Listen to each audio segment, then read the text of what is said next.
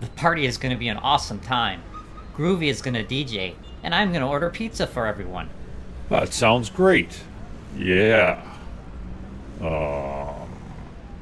So, uh, are you gonna invite him? I mean, I kinda have to. Right?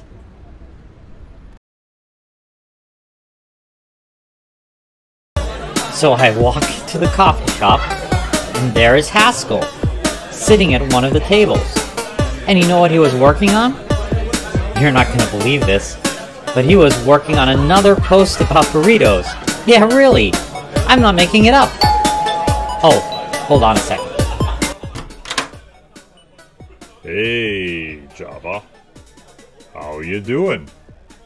Hi, guys. Great to see you both. Thanks so much for inviting me. And look what I have. I brought some homemade Java honey beers, huh?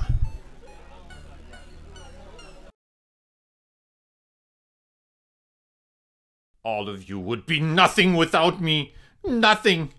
You all think you're so great. But do I ever get any appreciation? Never. I see how you look at me. I see.